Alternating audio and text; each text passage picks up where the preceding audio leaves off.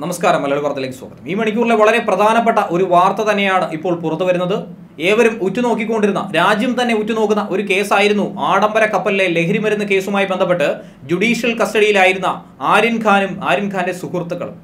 കഴിഞ്ഞ ദിവസമായിരുന്നു ആര്യൻ ഖാന് ഏകദേശം പതിനാല് ദിവസത്തെ ജുഡീഷ്യൽ കസ്റ്റഡി നീട്ടി നൽകിയത്. അതിന് പിന്നാലെ തൊട്ടടുത്ത ദിവസം തന്നെ ജാമ്യ ഹർജി നൽകിയിരുന്നു. എന്നാൽ ആ ജാമ്യ ഹർജി കോടതി പാടെ തള്ളുന്ന ഒരു സ്ഥിതിയായിരുന്നു ഉണ്ടായിരുന്നത്. അതിന് പിന്നാലെയാണ് ഇന്ന് കേസിന്റെ വാദം വീണ്ടും കേൾക്കാനായി എടുത്തത്. ഇന്ന് കേസിന്റെ നിർണായകമായിട്ടുള്ള വിധി തന്നെയായിരുന്നു പുറത്തു വരാനിരുന്നത്. എന്നാൽ ജുഡീഷ്യൽ കസ്റ്റഡിയിലുള്ള ആര്യൻ ഖാന്റെ ജാമ്യാപേക്ഷ പരിഗണിക്കുന്നത് മാറ്റിയതായിട്ടാണ് കോടതി ഇപ്പോൾ അറിയിച്ചിരിക്കുന്നത്. ഇതുതന്നെയാണ് ഇപ്പോൾ ശരിക്കും ബോളിവുഡിനും ഷാറൂഖ് ഖാനും അതുപോലെ തന്നെ ജയിലിൽ കിടക്കുന്ന ആര്യൻ ഖാനും സുഹൃത്തുക്കൾക്കുമൊക്കെ വലിയൊരു അടി തന്നെ സംഭവിച്ചു എന്ന് വേണം പറയാൻ. ബുധനാഴ്ചയിലേക്കാണ് ജാമ്യ ഹർജി പരിഗണിക്കുന്നത് മാറ്റിയിട്ടുള്ളത്. ജാമ്യ ഹർജിയിൽ മറുപടി നൽകാൻ ഒരാഴ്ചത്തെ സമയം എൻ കോടതിയോട് ആവശ്യപ്പെട്ടിട്ടുമുണ്ട്. അതുകൊണ്ട് തന്നെ ആര്യൻ ഖാൻ ഇനിയും ജുഡീഷ്യൽ കസ്റ്റഡിയിൽ തന്നെ തുടരുമെന്ന് വേണം അനുമാനിക്കാൻ. പ്രത്യേക എൻ ഡി പി എസ് കോടതിയാണ് ആര്യൻ ഖാന്റെ ജാമ്യാപേക്ഷ പരിഗണിക്കാനായി ഇരിക്കുന്നത് ഏതായിരുന്നാലും ഇത് മനുഷ്യാവകാശത്തിന്റെ പ്രശ്നമാണെന്നും ആര്യന്റെ പക്കൽ നിന്നും ലഹരി മരുന്ന് കണ്ടെടുക്കാത്ത ഒരു സാഹചര്യത്തിൽ ഏഴ് ദിവസം കസ്റ്റഡിയിൽ കിട്ടിയിട്ടും ആര്യനെ മൊഴിയെടുത്തത് കേവലം ഒരു തവണ മാത്രമാണെന്നുമായിരുന്നു കോടതി പറഞ്ഞത്. ഈ ഒരു ഘട്ടത്തിൽ ഇനി ആര്യൻ ഖാന് ജാമ്യം ലഭിക്കുമോ എന്ന കാര്യം തന്നെയാണ് ഉറ്റുനോക്കിക്കൊണ്ടിരിക്കുന്നതും ആര്യന്റെ ജാമ്യാപേക്ഷ നേരത്തെയും മുംബൈ മജിസ്ട്രേറ്റ് കോടതി തള്ളിയിട്ടുണ്ടായിരുന്നു.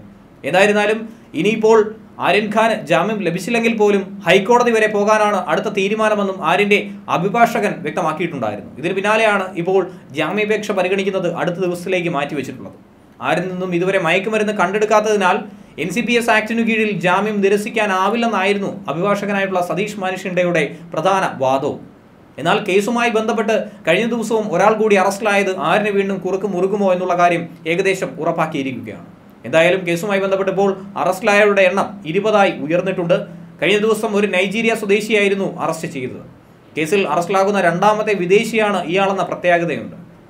അതേസമയം ആഡംബര കപ്പലിലെ ലഹരിമരുന്ന് കേസുമായി ബന്ധപ്പെട്ട അന്വേഷണം ഇപ്പോൾ ബോളിവുഡിലേക്കും നീങ്ങുന്നു എന്ന സൂചനകൾ ലഭിക്കുന്നുണ്ട്. കഴിഞ്ഞ ദിവസം നിർമ്മാതാവ് ഇംതിയാസ് ഖത്രിയുടെ വീട്ടിൽ എൻ സംഘം റെയ്ഡ് നടത്തുകയും ചോദ്യം ചെയ്യലും അടക്കമുള്ള നടപടികളുമായി മുന്നോട്ട് പോയിരുന്നു.